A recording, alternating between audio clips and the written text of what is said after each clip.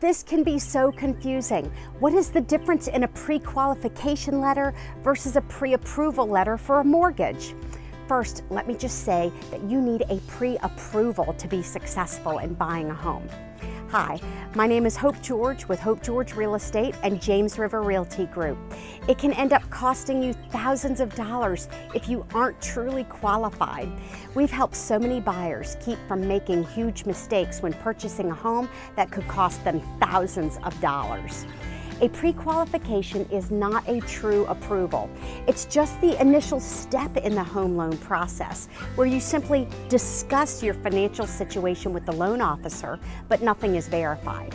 The approval is where the buyer actually provides the lender with all of the necessary documents to tell them what they're approved for, which loan product is the best option for them, and to give the buyer a better idea of that interest rate.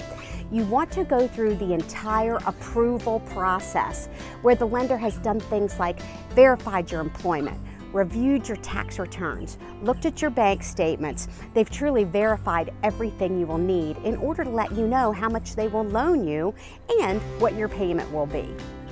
It is essential that you do this. Otherwise, you could stand to lose your initial deposit and any money that you've already spent on things like home inspections or the appraisal. Don't fall into that trap. Call me. Let me walk you through the safest and most strategic way to become a homeowner. And don't forget, you pay no fees to have an agent represent you because the seller pays our fees. But we're here to help protect your best interest. I'm here to help. I'm Hope George, your best hope in real estate.